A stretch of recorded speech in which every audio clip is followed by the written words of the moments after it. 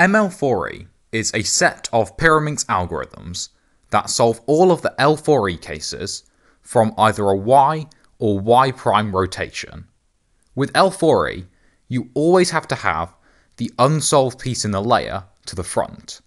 This means that you often either have to rotate or solve the V from a different angle than you would like to, having to, for example, do B moves.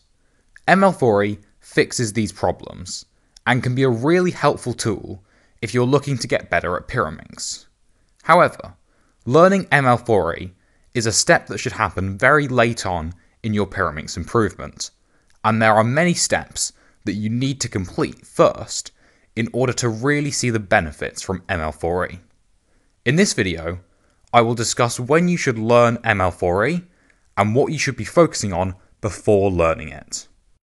So let's go through what you need to know before you should learn ML4E, a sort of ML4E checklist.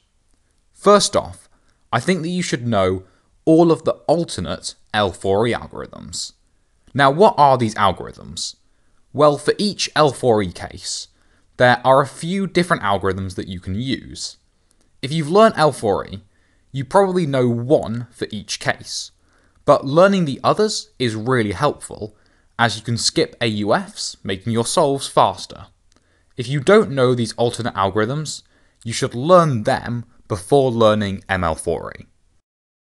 The second thing you should be able to do before learning ML4E is being able to one look a decent amount of your solves. To understand why, let's think about what would happen if you learn ML4E and couldn't one look a lot of your solves.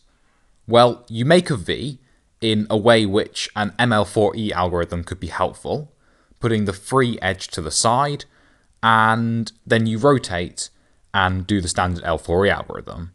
If you're not one looking, you are just going to default back to doing what you know. ML4E is really helpful, but only if you one look it.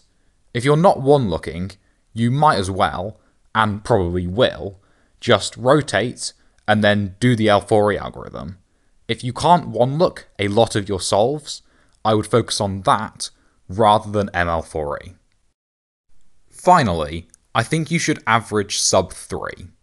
If you're doing the two points that I discussed previously, then you should be sub 3. If not, then you should focus on turning faster and getting better V solutions, rather than learning ML4E. If you're not sub 3, there are other things that you should be focusing on that will help you improve a lot more than ML4E will. So, to recap, to learn ML4E, I think you should know all of the L4E and alternate L4E algorithms. I think you should be one looking a good amount of your solves, and I think you should be sub 3. If you're doing all of these things, then ML4E can be a really useful thing to learn.